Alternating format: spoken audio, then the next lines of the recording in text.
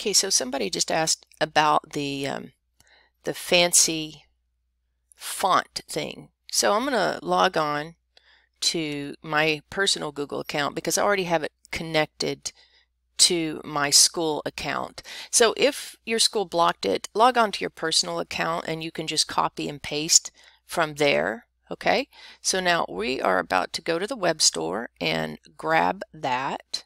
So we can either go to the web store here or go on um, to your Google Drive and down here at the bottom right you will see the web store.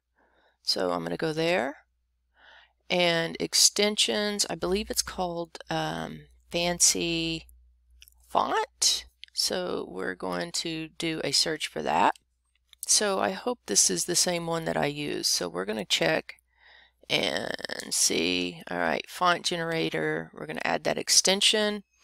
So it looks like it's right here.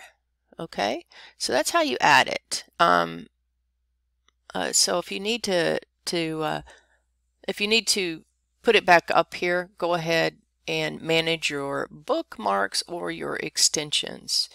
Okay, so now we're going to jump on over to my school account and show uh, before I do that, I'm going to show you what to do if you do not find it up here. So there's your extension tool. What I would do is make sure you pin that right here. Um, okay, so that way you can always have it right there every time you're typing and it's super easy.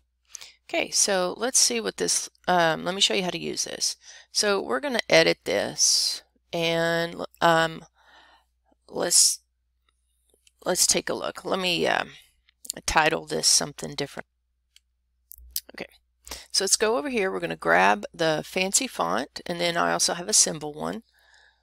So we're going to grab this, and I'm going to type in um, 504 requirements. So I'm going to scroll through here. There's not a whole lot. Um, I always do pick, I don't know, this one might be a little different.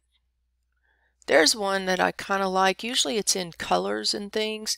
So all I have to do now, it's copied um, to my clipboard.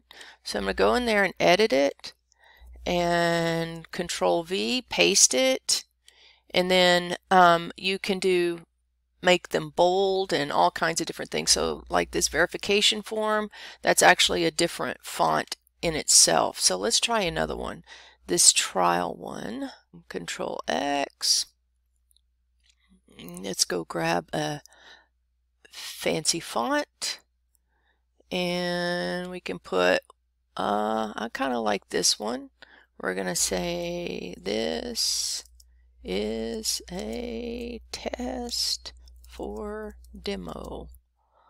Alright, so I'm going to grab that. I've copied it. So now I'm going to come down here, edit it, paste it, update it. So that's what it's going to look like. You can do that. It's HTML coded, so you can do that with just about anything. Um, you could even do it on Facebook. It changes it a little bit, but there you go. That's how you add a fancy font. Oh, you can also do this like with the symbols. Um, let me try something real quick. We'll do these right here. So hang on just a sec. So this is called um, basically an emoji keyboard. So what I'm going to do is I am going to add an emoji to here. All right. I've copied that.